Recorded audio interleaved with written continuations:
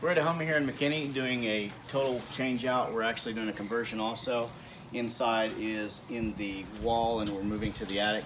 But this is an old 17 year uh, old Lennox R22.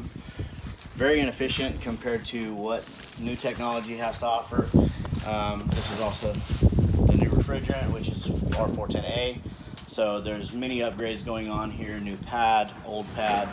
Uh, the size of the unit basically everybody kind of wonders why it's so much bigger. Uh, you get efficiency out of surface area, so that's a lot of the reason for the size. Um, but there's much, much more efficiency technology um, in this new equipment versus something older and inefficient. Okay, so we're actually taking this old unit out. Um, not very efficient, not very good quality. Um, everything is moving to the attic, totally converting this house to an application that is a um, horizontal in the attic uh, versus this wall unit. Uh, this is going to end up being sheetrocked over. We're going to add a return here because the return used to be here, so we're going to add another return on the other side of the house to make it breathe really nice and for efficiency also.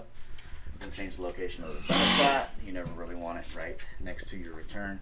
So we're going to move the thermostat out into the living room. Um, but yeah, this will look really nice once it's all said and done.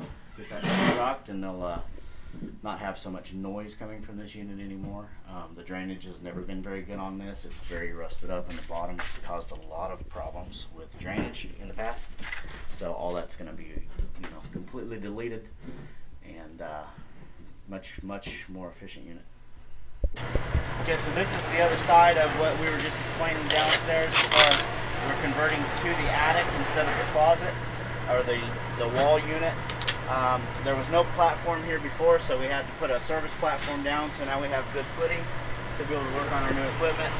So basically, since there was nothing here, we have a new supply plenum, the air handler, the return plenum. This is where the filter is going to be now. Adding a couple returns to the house instead of where the return was. Take all the original ductwork and come tied back to it. So we have to uh, basically modify a little bit for conversions like this to where uh, you know they're adding new ducts, replacing some ducts to come back and make everything line up and, and fit really nice.